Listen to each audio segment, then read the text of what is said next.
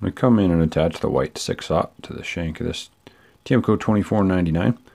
Traditionally and typically this is a nymph hook, but in the size 6 it is a nice sturdy beefy hook. Great little shank and upturned point for some medium-sized streamers.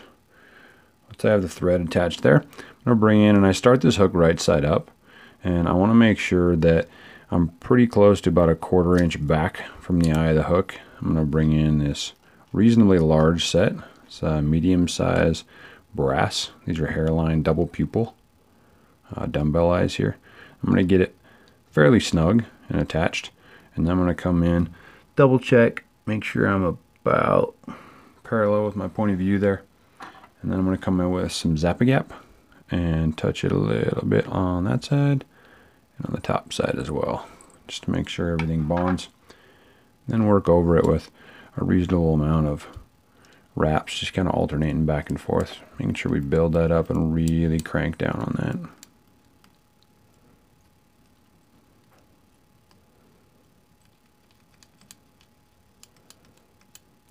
So I feel like I have that fairly well connected. I'm actually going to take some wraps right around the base of it, and that's just going to wrench down on those thread wraps and really lock it into place. Between that and the Zap-A-Gap that we have down there, should stay pretty pretty sturdy, pretty well in place for us as we move forward and fish that. All right, so now that I have those in place, I'm going to come in uh, with my first white Magnum rabbit strip, and I'm actually just going to pop this out of the vise. I'm going to take the point of that hook there, and I'm going to stick it right through the hide, just ensuring that I have enough space in front to, to get to the front of the fly. Punch that through, and once I have that worked through, I'm going to return that to the vise.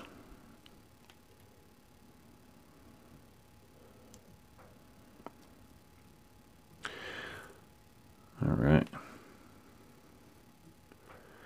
So I'm going to let that piece kind of hang in the back. I'm going to rotate this upside down. I'm going to bring that thread back just on the back side of the eyes. Now I'm going to bring in the second part of the rabbit strip. Because this is a magnum strip, I'm actually going to take it and I'm just going to snip the front end of it just to give it a little bit of a taper. And that's just going to make for a little bit easier tie-in in front of it. So my thread's right here in front of the eyes. I'm going to drop the tip of this rabbit strip in. I'm going to extend it forward just a little bit because when my thread catches it, it's going to tend to want to pull it down and back. So I'm going to catch that by the tip, secure that with several wraps there. Make sure I'm not crowding the eye on my hook. Make sure that's nice and snug. And then I'm actually going to bring my thread back behind the eyes. Drop that rabbit strip over and I'm going to come in just with the point of my scissors.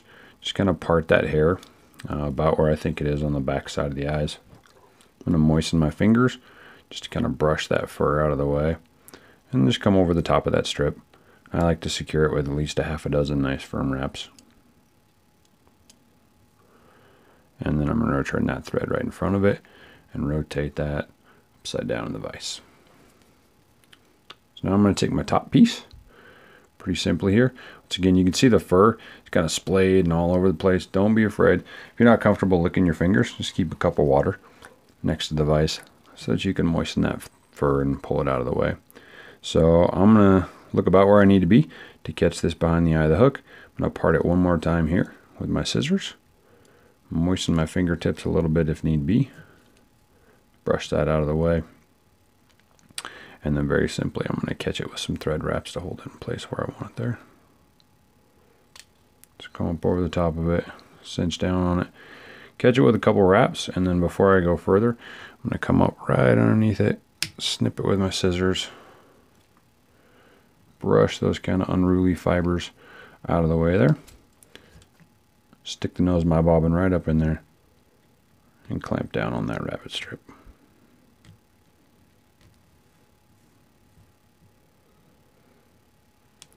So last thing I'm going to do on the front here, I used to use Krystal Flash for this, but this year after Hareline came out uh, with this Ripple Ice Fiber, I'm just going to take a few stray strands of the Ripple Ice Fiber.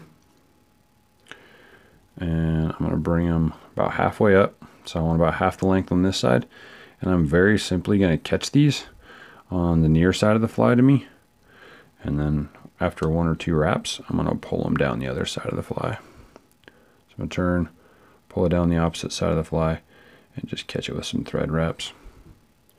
Get that stray fiber to hopefully come back here and join us. Make sure that's all nice and secure. Clean that up just a little bit there. And at this point, I'm going to come in, moisten my fingers once again, brush that hair to the back to keep it kind of clean and out of the way, and then just whip finish just with my hands.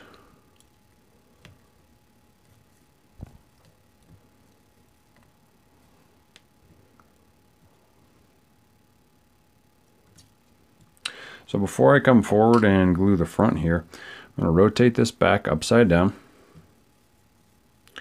And for me on this bottom piece, I only want this bottom piece to come back about halfway, about half as far as the top piece. So I'm going to snip this off fairly short. So it's going to end about partway down that rabbit piece. And because this isn't going to kick and wiggle, um, because this piece is actually a shorter and is going to stay that way, I'm actually just going to use a little bit of Zap-A-Gap uh, to adhere these two pieces of the skin together. Bring this in, lay it on the skin, quickly bring this other piece down, and give those a nice pinch together for about 10 to 15 seconds.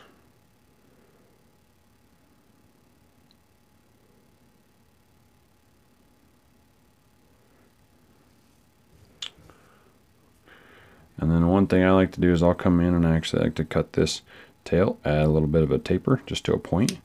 Tends to kick and wiggle in the current a little bit better.